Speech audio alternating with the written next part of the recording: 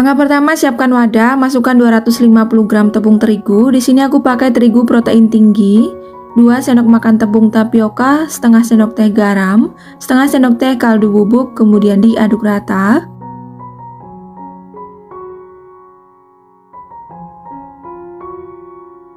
Pecahkan satu butir telur ayam, 2 sendok makan minyak goreng, 650 ml air, tuang secara bertahap sambil diaduk.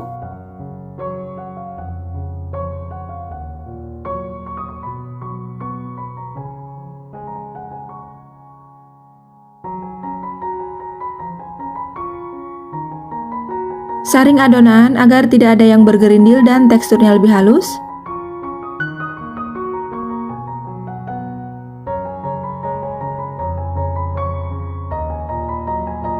Nah, jadi konsistensi adonannya seperti ini ya.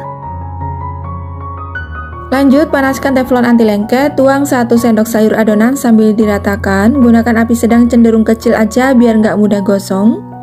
Kalau bagian pinggir sudah mengering dan nggak lengket seperti ini bisa diangkat. Lakukan sampai adonannya habis. Oh ya, ini aku pakai teflon ukuran 20 cm ya bunda. Ini dia hasilnya setelah semua selesai, aku dapat sekitar 24 lembar. Bisa dilihat ya bunda, teksturnya halus. Dan ini juga nggak mudah sobek.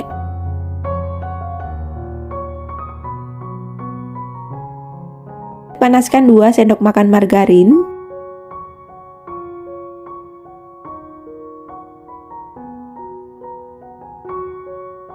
Masukkan 2 bawang putih yang sudah dicincang halus, Setengah buah bawang bombay yang sudah diiris tipis kemudian dimasak sampai harum dan layu. Jika sudah, masukkan 200 gram ayam cincang. Masak sampai ayamnya berubah warna.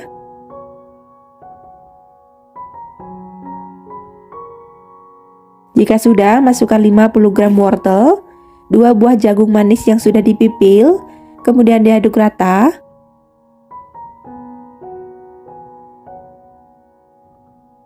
Tambahkan 100 ml air, setengah sendok teh garam, setengah sendok teh kaldu bubuk, setengah sendok teh lada bubuk, setengah sendok makan gula pasir, dan seperempat sendok teh MSG atau micin boleh di skip ya bunda. Kemudian diaduk rata, masak sampai airnya menyusut dan sedikit mengering.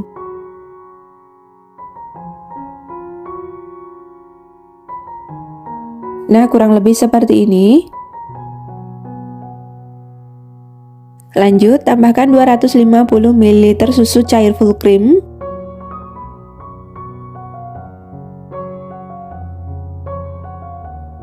Siapkan wadah, larutkan 2 sendok makan tepung terigu. Tambahkan sedikit air, kemudian diaduk rata. Tuangkan larutan terigu. Aduk-aduk dan dimasak sampai mengental.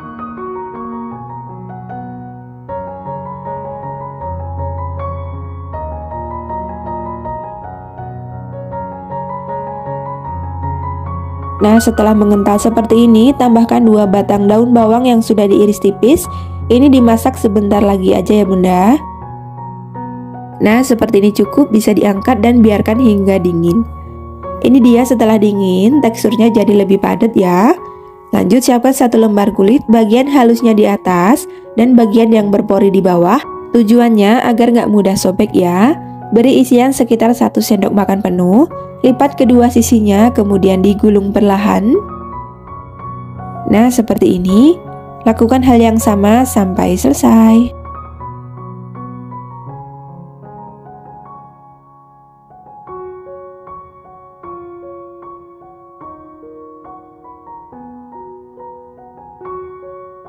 Nah, ini dia setelah semuanya selesai. Lanjut siapkan wadah, masukkan 6 sendok makan tepung terigu. Tambahkan 150 ml air, aduk rata sampai tidak ada yang bergerindil.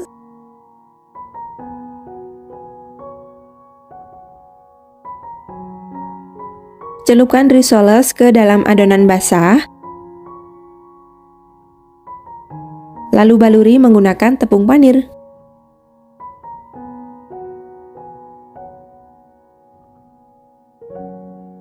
Nah, seperti ini Ulangi sampai semuanya habis ya.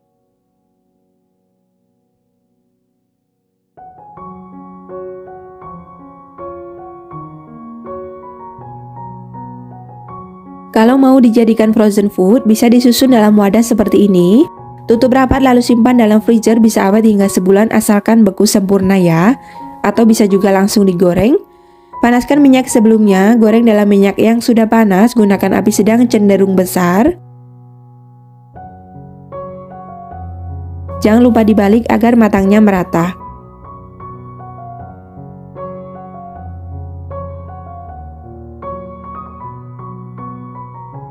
Kalau sudah garing, kokoh, dan berwarna kuning kecoklatan, tandanya udah matang bisa diangkat dan tiriskan. Nah ini dia setelah semuanya selesai digoreng. Kalau mau dijadikan ide jualan bisa dikemas menggunakan paper cup seperti ini.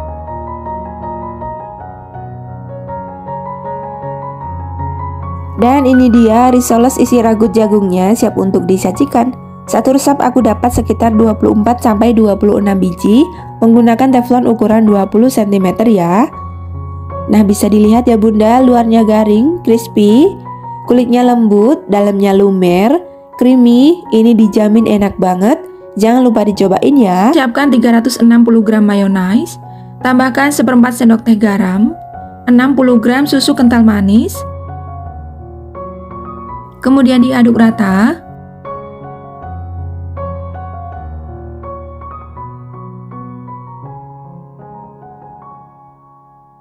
Nah ini disisihkan dulu. Lanjut siapkan 3 butir telur yang sudah direbus. Potong menjadi 24 bagian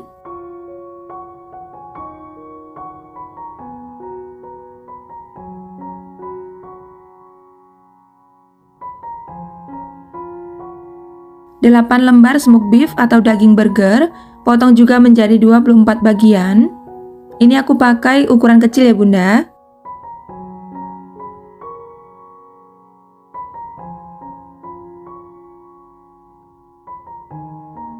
100 gram keju cheddar, potong juga menjadi 24 bagian.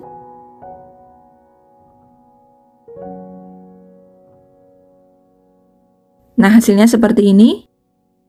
Lanjut, siapkan satu lembar kulit risol, bagian halusnya di atas dan yang berpori di bawah. Ini tujuannya biar nggak mudah pecah. Beri isian potongan daging burger, keju, telur ayam, dan juga satu sendok makan campuran mayonnaise lalu dilipat seperti amplop.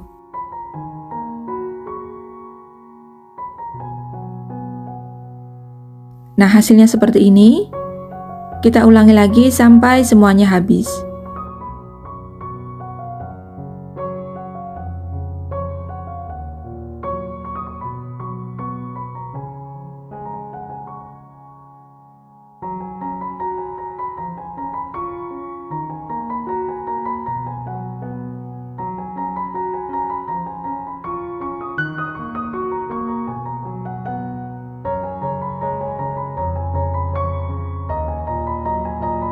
Nah ini dia hasilnya setelah semuanya selesai.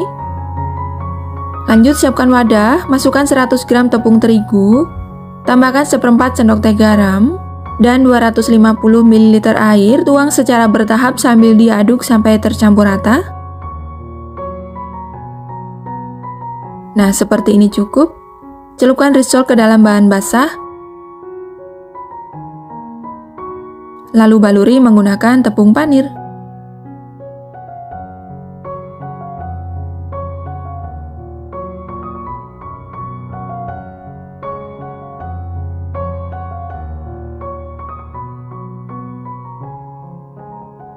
Hasilnya seperti ini, kita ulangi sampai semuanya habis. Dan ini dia setelah semuanya selesai, kalau mau dijadikan stok bisa disusun dalam wadah seperti ini.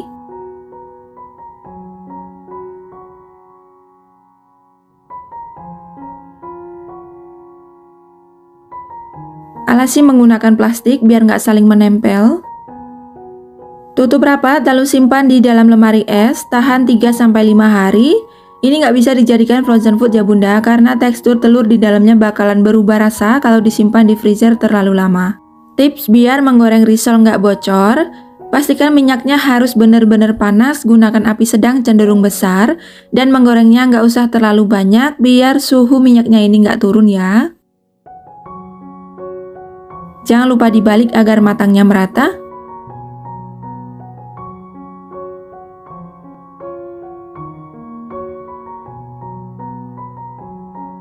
Kalau sudah garing, kokoh, dan berwarna kecoklatan, tandanya udah matang bisa diangkat dan tiriskan.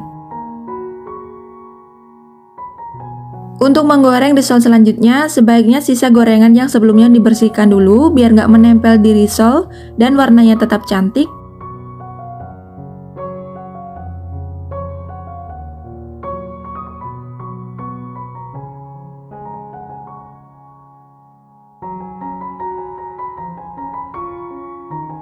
Nah ini dia hasilnya setelah digoreng. Kalau mau dijadikan ide jualan, bisa dikemas menggunakan mika plastik. Tambahkan pelengkap saus kemasan.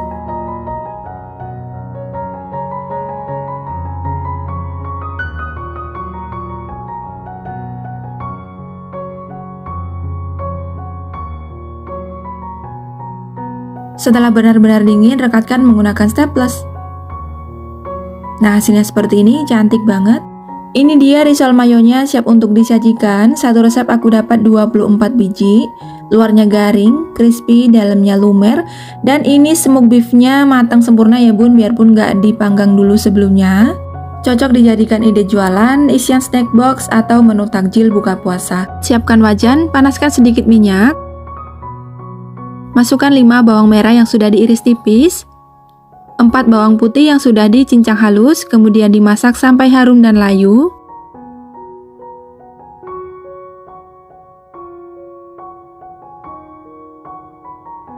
Jika sudah, masukkan 300 gram kentang, 300 gram wortel, kemudian diaduk rata.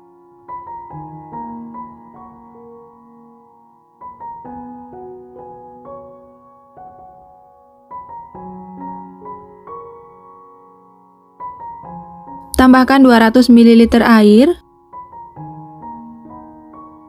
1 sendok teh garam 1 sendok teh kaldu bubuk setengah sendok teh lada bubuk 1 sendok makan gula pasir setengah sendok teh MSG atau micin diaduk rata kembali masak sampai airnya menyusut dan sedikit mengering atau sampai kentang dan wortelnya empuk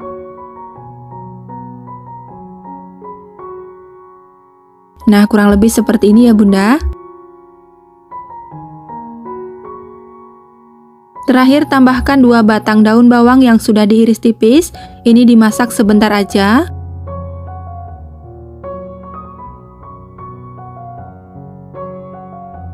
Nah, seperti ini cukup bisa diangkat. Lanjut, siapkan satu lembar kulit. Bagian halusnya di atas dan yang berpori di bawah. Ini tujuannya agar nggak mudah sobek ya bunda. Beri isian sekitar 1 sendok makan. Lipat kedua sisinya. Kemudian digulung perlahan. Nah, hasilnya seperti ini. Kita ulangi lagi, ambil satu lembar kulit, beri isian sekitar 1 sendok makan. Lipat kedua sisinya. Kemudian digulung perlahan. Nah, seperti ini ya. Dan ini dia setelah semuanya selesai. Lanjut siapkan wadah, masukkan 6 sendok makan tepung terigu. Tambahkan 150 ml air sambil diaduk sampai tidak ada yang bergerindil.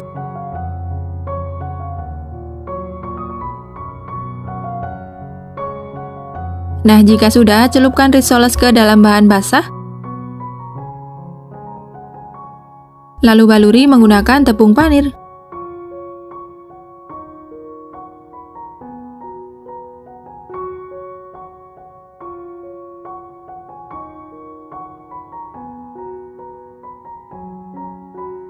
Nah, hasilnya seperti ini, ulangi sampai semuanya habis.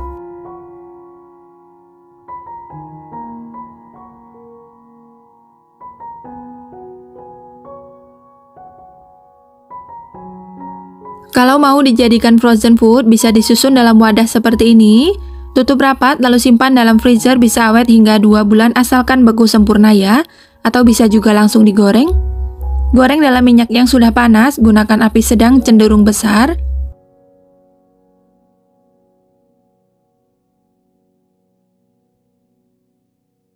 Jangan lupa dibalik agar matangnya merata.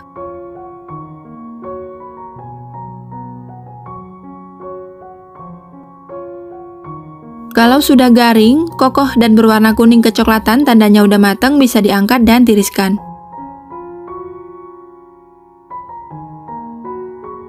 Ini dia hasilnya setelah digoreng, kemas menggunakan paper cup.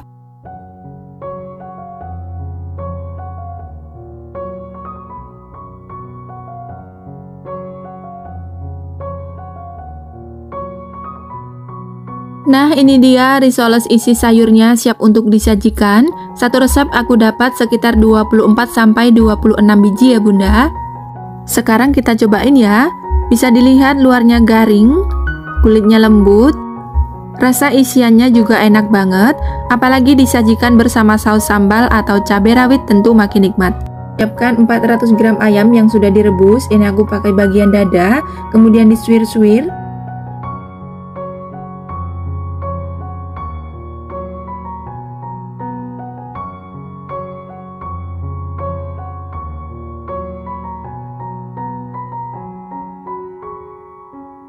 Setelah selesai, ini disisihkan dulu. Lanjut siapkan blender, masukkan 5 buah bawang merah, 3 buah bawang putih, 5 buah cabai rawit merah, 10-15 cabai rawit merah keriting, dan sedikit air kemudian dihaluskan. Kalau mau lebih pedas, boleh ditambah ya bunda cabenya. Lanjut panaskan secukupnya minyak. Masukkan bumbu yang tadi sudah dihaluskan.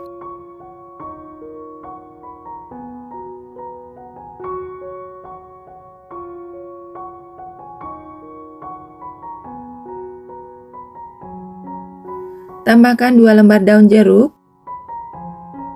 dan satu batang serai, kemudian ditumis sampai matang dan tanak ya.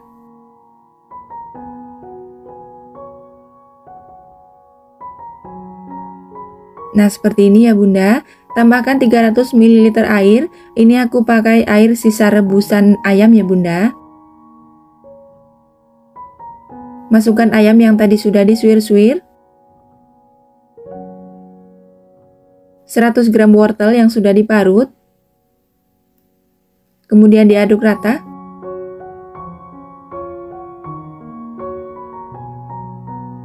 Tambahkan 1 sendok teh garam,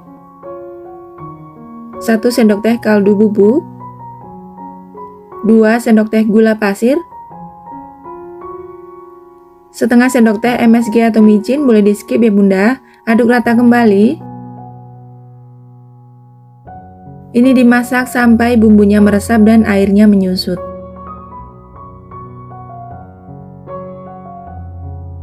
Nah ini dia, airnya sudah menyusut dan bumbunya meresap, ayamnya juga sudah matang, bisa diangkat. Lanjut, siapkan satu lembar kulit, bagian halusnya di atas ya bunda. Beri isian secukupnya. Lipat kedua sisinya.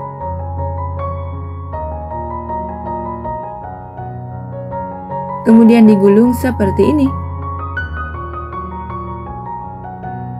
Nah, ini dia hasilnya. Ulangi sampai semuanya habis ya.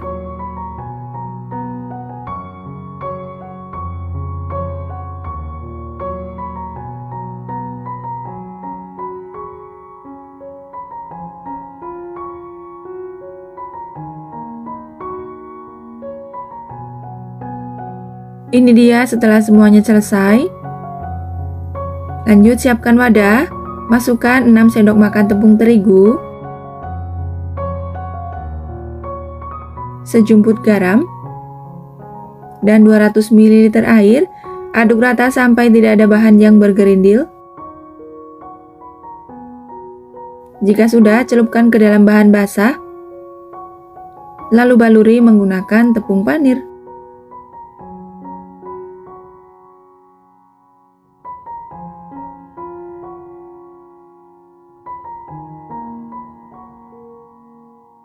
Seperti ini ya hasilnya, ulangi sampai semuanya habis.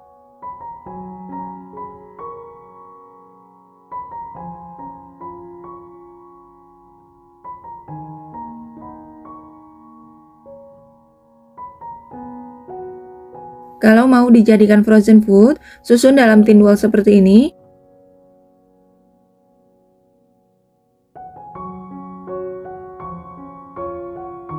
Tutup rapat, lalu simpan dalam freezer bisa awet hingga sebulan asalkan beku sempurna ya, atau bisa langsung digoreng. Panaskan minyak sebelumnya, gunakan api sedang cenderung besar. Pastikan minyaknya harus sudah benar-benar panas ya bunda, agar nggak rawan pecah.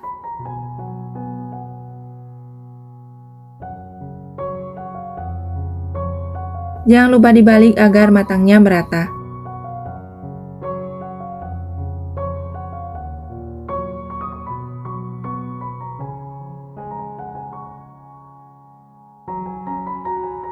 Setelah garing dan berwarna kuning kecoklatan, tandanya udah matang, bisa diangkat dan tiriskan.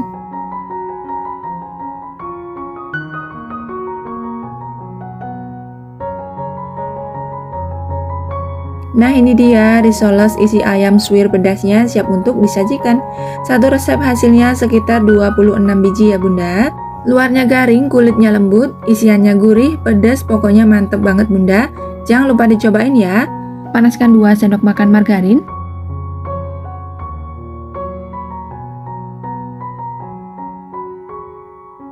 Masukkan 2 bawang putih yang sudah dicincang halus, setengah buah bawang bombay, tumis hingga harum dan layu,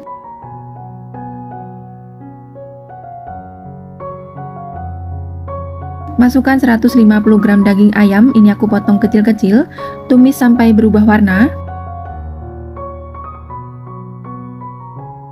Nah, seperti ini ya bunda. Masukkan satu buah wortel dengan berat 100 gram, satu buah kentang dengan berat 100 gram, satu buah jagung manis yang sudah dipipil, masak sampai sayurannya layu dan empuk ya. Nah, jika sudah, tambahkan setengah sendok teh garam, setengah sendok teh kaldu bubuk, setengah sendok teh lada bubuk, setengah sendok makan gula pasir, kemudian diaduk rata.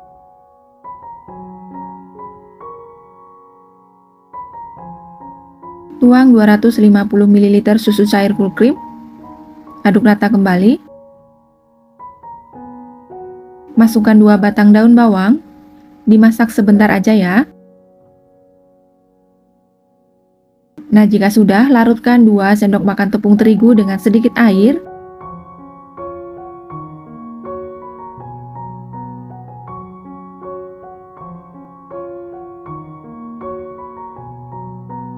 Tuang larutan terigu lalu dimasak sampai mengental.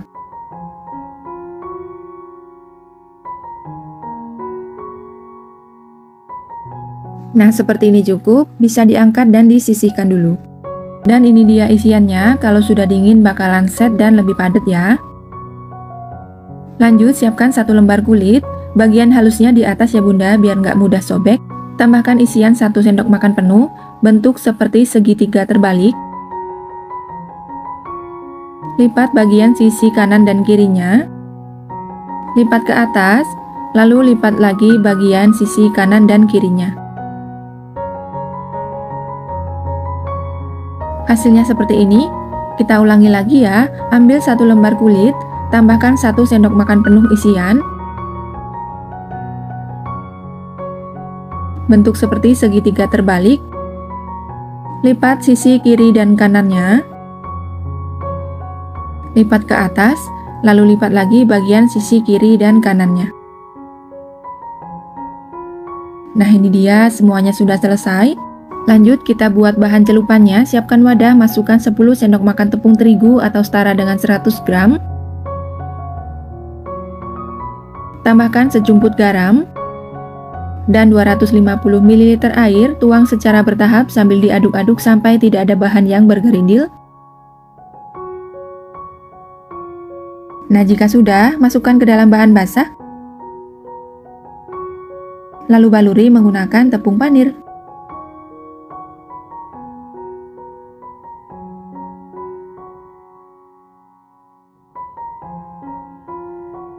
Hasilnya seperti ini, ulangi sampai semuanya habis ya.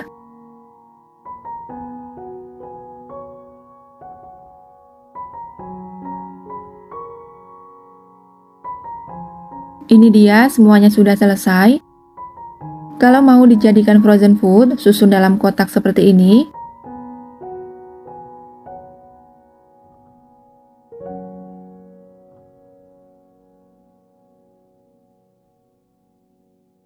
Alasi dengan plastik agar nggak saling menempel.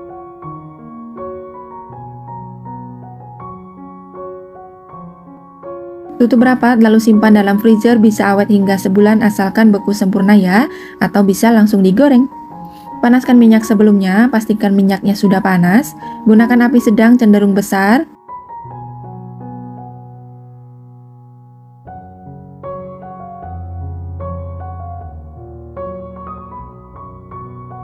Jangan lupa dibalik agar matangnya merata ya.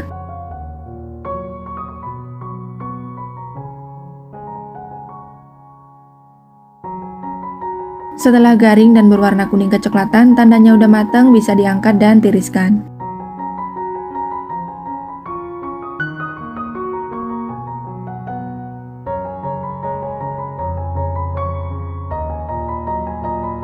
Nah ini dia risoles ragutnya siap untuk disajikan.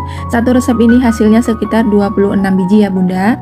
Luarnya garing, dalamnya lembut, creamy, gurih, sedikit manis, pokoknya dijamin enak banget. Jangan lupa dicobain ya bunda. Siapkan dua buah jagung manis pipil, rebus sampai matang.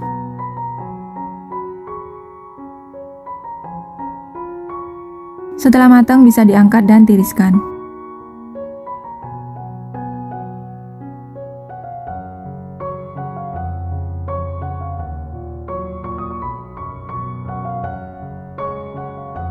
Sisihkan dulu Lanjut siapkan 5 lembar smoke beef, dipotong kecil-kecil.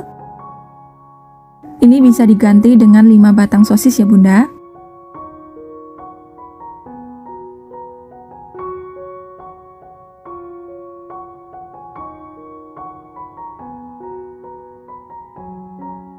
Nah seperti ini, lanjut panaskan 1 sendok makan margarin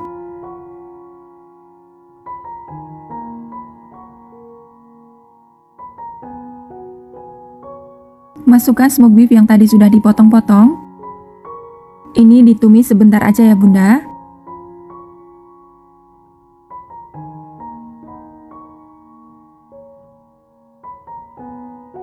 Nah seperti ini cukup, bisa diangkat. Lanjut, siapkan wadah, masukkan 180 gram mayonnaise. Untuk mereknya bebas ya bunda, boleh pakai merek apa aja. Masukkan jagung rebus dan juga smoke beef.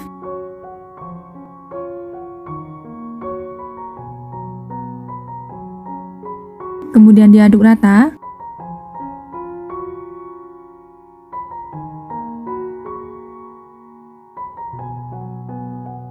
Nah, seperti ini cukup. Lanjut, siapkan satu lembar kulit, bagian halusnya di atas ya bunda, biar nggak mudah sobek. Beri satu sendok makan isian, kemudian dilipat dan digulung perlahan.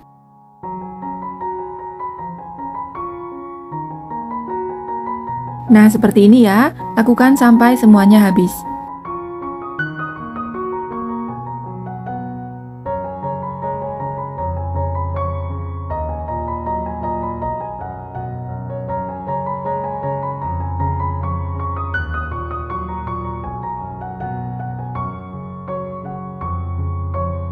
Ini dia setelah semuanya selesai.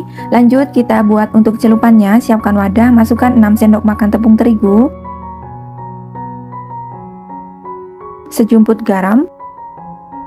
Dan 200 ml air. Aduk rata sampai tidak ada bahan yang bergerindil. Celupkan ke dalam bahan basah.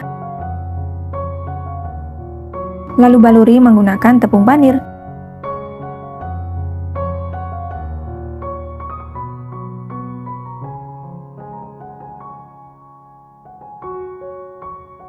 Seperti ini hasilnya, ulangi sampai semuanya habis. Oh ya bunda, ini tepung panirnya sudah aku blender sebentar ya, jadi teksturnya lebih halus. Nah ini dia semuanya sudah selesai. Kalau untuk dijadikan frozen food bisa disusun dalam tin wall seperti ini.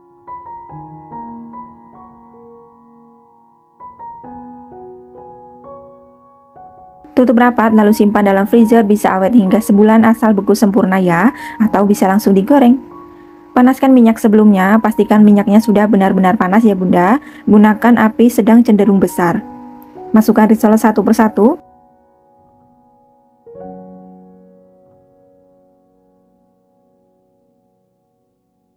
Jangan lupa dibalik agar matangnya merata.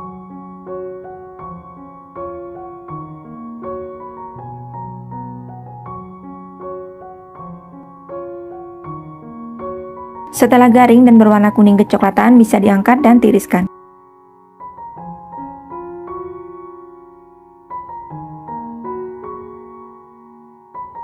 Nah ini dia risoles jagung mayonya siap untuk disajikan Satu resep hasilnya sekitar 26 biji ya bunda Luarnya garing, kulitnya lembut, rasanya manis, gurih Sajikan selagi hangat bersama saus sambal tentu lebih nikmat ya. Jangan lupa dicobain ya bunda. Terima kasih sudah menonton hingga selesai. Semoga videonya bermanfaat Dan selamat mencoba. Jangan lupa like, komen, dan subscribe ya. Aktifkan juga lonceng notifikasinya agar tidak ketinggalan video terbaru selanjutnya. Terima kasih.